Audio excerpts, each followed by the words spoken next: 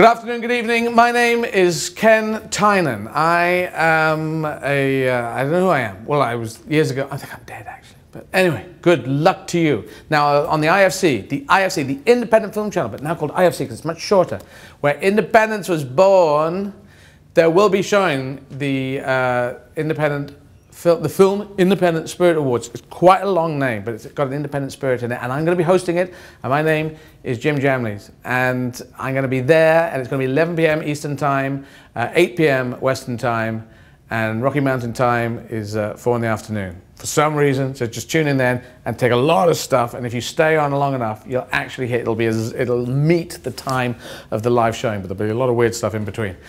So do that, watch that on, on IFC, and, and then you'll live forever. And that's just guaranteed by IFC. You will live forever.